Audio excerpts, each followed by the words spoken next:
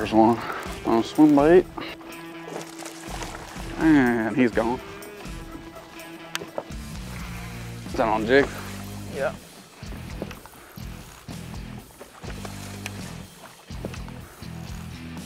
He choked it too. We found a couple, so we're gonna throw him back and keep the school fired up as they fall. It's every cast now. Get in there. That's a big one.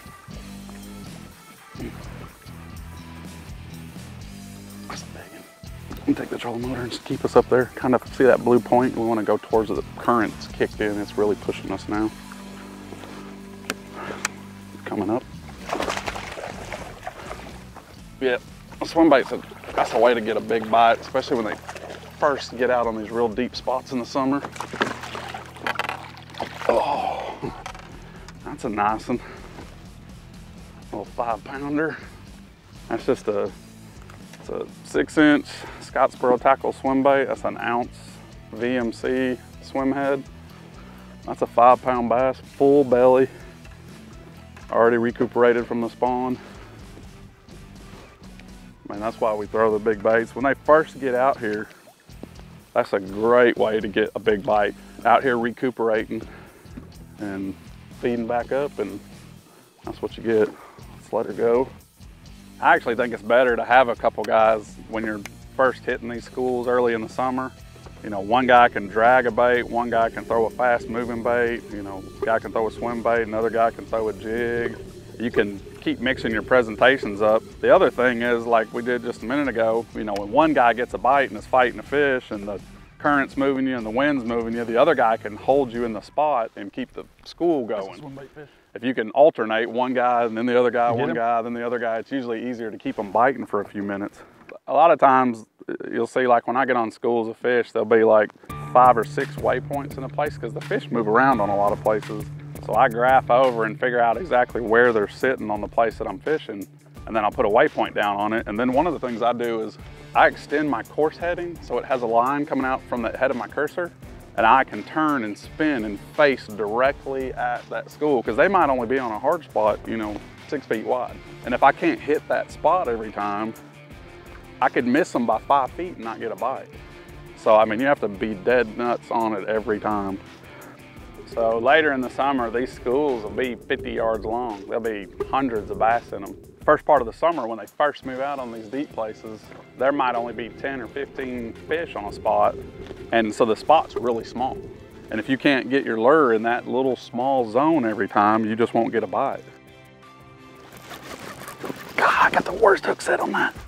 He hit it while it was falling. I got him now.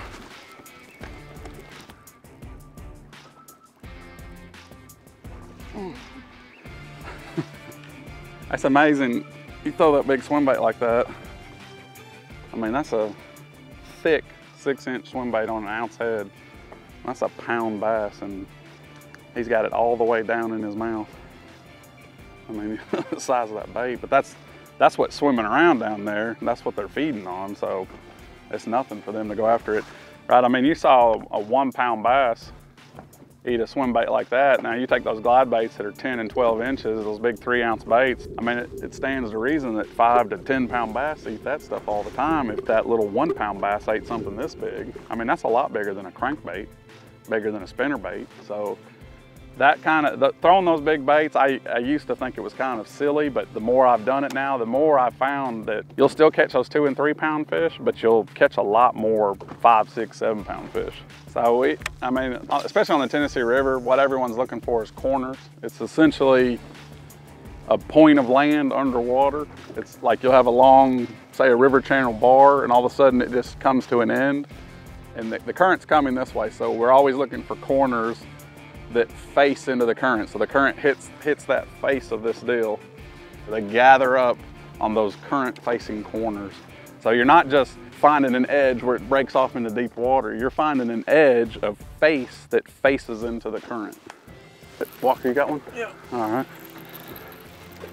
Oh gosh, Feels like it. had a bite right there too. What's that on? Feels like it. A jig?